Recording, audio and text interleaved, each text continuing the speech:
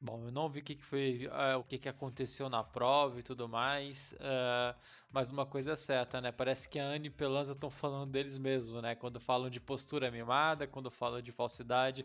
E eu não tô aqui defendendo a Ivy e o Nandinho, não, tá? Eu não tô aqui defendendo a Ivy e o Nandinho, não, até porque eu concordo com a Anne e Pelanza quando eles falam da Ivy e do Nandinho uh, nesse sentido aí. Eu acho a Ivy o Nandinho um casal saboneteiro, acho que já teve muitas atitudes falsas também a, a, a considerar aí.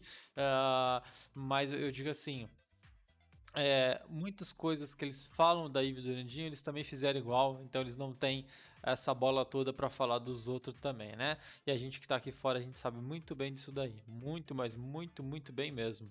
Enfim, bora ler os comentários de vocês aqui, já agradeço desde já todo mundo que vem comentando e deixando aquele joinha para ajudar o canal, tá? Célia Bretanha, que vergonha, com tanta mulher lá dentro, uh, não é só ficar falando mal por de trás, suas preguiçosas, com tantas mulheres era para era parar a casa ficar um brilho de limpa. Ontem o Albert falou que a lavanderia estava um lixo. Para mim isso é um relaxo.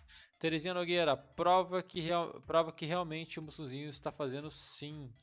Uh, nós temos comentários aqui, esses aqui a gente já leu. Eudete Augusto, isso é inveja, não tem jeito. Somente sair um por um, vai ficar somente o Matheus e Brenda, ok? Tá aí o comentário da Eudete Augusta. Lucy Santos, ainda bem que eles não vetaram o Brenda e Matheus.